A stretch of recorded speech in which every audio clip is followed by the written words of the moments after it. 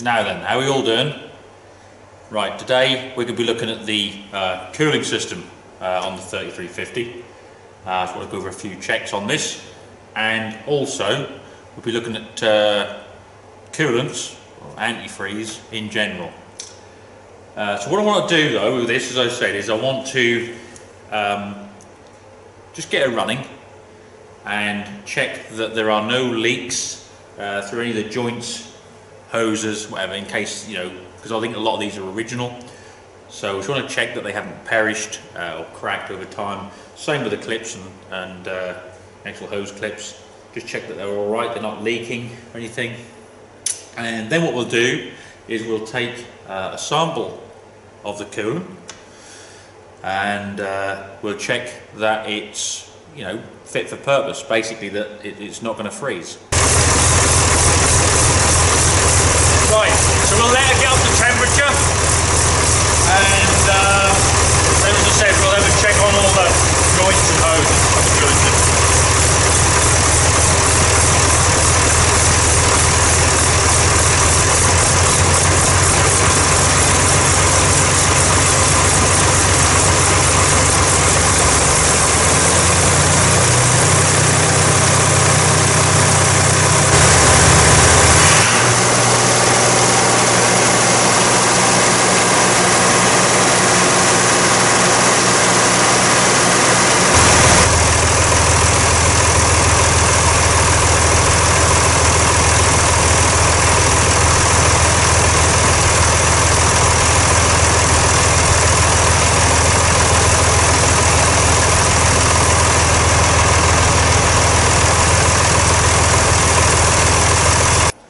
Stinky bloody thing. Right. Well, everything appears to be okay. Um, hoses all look good, clips all look good. So uh, what we'll have to do now is just let it cool a bit. I'm going to take a sample out of the header tank here for the coolant and then we can uh, have a look at that and see if it's up to, well basically up to scratch. Right then, we're going to have a look at these uh, various concoctions of uh, antifreeze or coolant and um, see how they basically come up on the um, tester. Now, of course, as with all this, you know, this is just monkey maintenance. It's at a very basic level, um, just to, you know, demonstrate a bit about the coolants. So, you know, common sense dictates there's always, you know, a host of variations. Always look at your manufacturer's recommendations for coolant. And also, it's down to where you are. We'll have a look at these. So what we've got first, this is, um, drop a jollop here. Um, that's not actually Mountain Dew. Wade, I know you're thinking, it's not. This is at the John Deere at the 3350. So, if we drop this in, take some up. Right, what we got, what we got? One sinking. We've got five discs floating. One sort of sinking, settling. With five discs, you can see that on there. Can you see that very, very well? So we've got five discs floating, one has sunk. And that says on here five discs is minus 34 degrees Fahrenheit. That's minus 37 degrees Celsius. So uh, over here, minus 37, that's more than enough protection.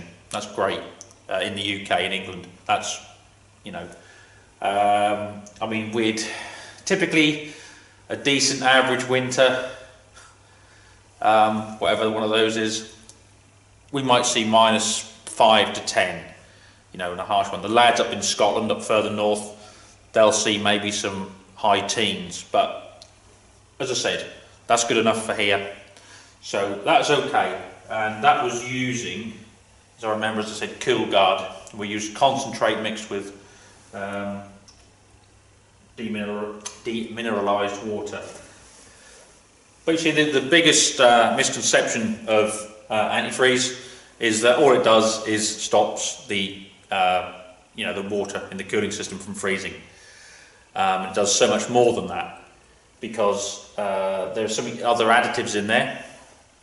Now, ideally, just like with Cool-Gard, they will use uh, demineralized water. And the reason for that is if you use standard tap water in a cooling system, let's say you put no antifreeze in at all, you just used pure water out of a tap, uh, good enough to drink, good enough to wash in. Um, over time, you know, obviously forget cold temperatures now if you drained out every night, but you were running it during the day, you know, normal conditions. Over time, you're going to get a build-up of um, like an oxidization inside the block. If you cut the block in half, you'd see um, that there's build-up uh, of oxidization. There'll also be um, deposits of like calcium in that build-up because where you get a hot spot, nearly you know, on a, near a cylinder wall, um, calcium deposits, silicates, and, and you know, and again oxidization will tend to um, sort of get drawn to that, and then obviously they'll stop there and cling to it, that hot part, it obviously because they're, they're around that. Then the coolant is then isn't touching the cylinder wall anymore; it's now touching the deposit, so it's not cooling the cylinder as much, so it gets hotter.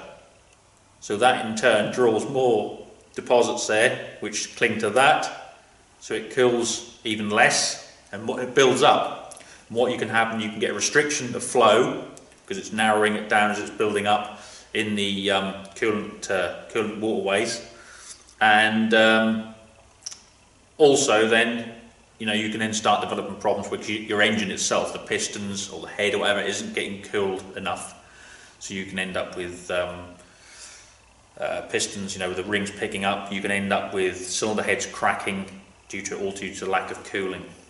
So there's that side of it. Also in there, there are um, lubricants because um, you know the casting and inside and deposits, what you don't want is, as I said, for the water to basically you know friction as it's passing to slow down. You want to keep it moving, keep the keep the warm stuff passing and, and taking the heat away, and the and the new fresh sort of cooler stuff coming past again. Just keep the circulation going. So there are lubricants just to line all that, uh, that cooling system and keep things flowing. Um, so as they're in there. And then there are also there are um, additives to stop, uh, you know, or reduce cavitation. So where you maybe your water gallery is turning somewhere or going away, in those corners normally, um, you'll get you can get cavitation, which little air bubbles as the water spins around. You know, you get a, um, an area, and that can act just like those air bubbles. Believe it or not, I know they're only air, but they can act like the um, stones on the bottom of a riverbed, and in time they can actually wear away at the casting, and uh, you can end up with you know porous blocks, and um, that's uh, that's in there as well to stop you know cavitation. So it's not just an, an antifreeze. I know we use that as a generic term, we put antifreeze in, but it really, you know, it does contain so much more, and there's a lot more goes on in that cooling system than, than most people would uh, give credit for. Right, so we know stuff at the 3350 is good enough for here. This is what we would normally class as a standard mix. So I've got some, you know, brand new coolant, some antifreeze, um, and it's of a main manufacturer's um, specification and I've done it at 33% so a third water and um, sorry a third coolant two thirds water and uh, that's what you know, most vehicles would run and what we always taught to run you know so we'll have a look at that see what that comes out at it's giving three discs well three discs on here says minus 10 degrees Fahrenheit, which is minus 23 degrees Celsius. And that would be about right. That's what I'd expect to see. So, as I said, it, yeah, it's giving coverage, and it would it would cover what we need in this country, in, in England. But again, in Canada, uh, at the moment, minus 23 degrees Celsius, so minus 10 degrees Fahrenheit. You're pushing your luck. You get John Deere's Cool-Gard 2. and uh, see that. Now that, as I said, ca- can be bought as a concentrate or pre-mix. This is the pre-mix, and they pre-mix it at 50-50. Deminer- demineralized water and their uh, coolant. So let's just see what they. So pre-mixed Cool-Gard is giving five discs, so that's minus 34 degrees Fahrenheit, or minus 37 degrees Celsius.